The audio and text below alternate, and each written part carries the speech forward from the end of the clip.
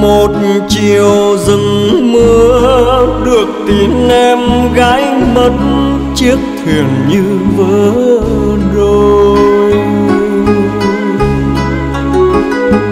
Phút cuối không nghe được em nói, không nhìn được một lần.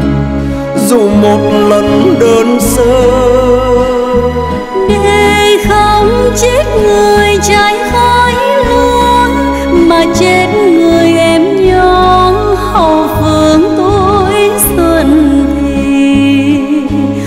Ôi, ngày trở lại, nhìn đồi sim nay vắng người em tha đôi đồi sim tim chạy xa tít lan dần trong bóng tối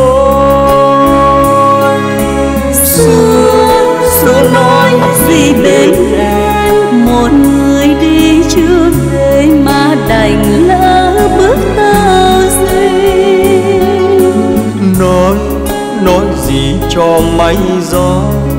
Một rừng đầy hoa sim nên để chiều đi không hết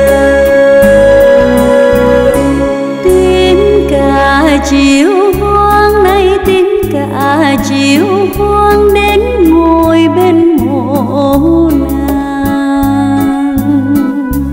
Từ dạo hợp hôn nàng không may áo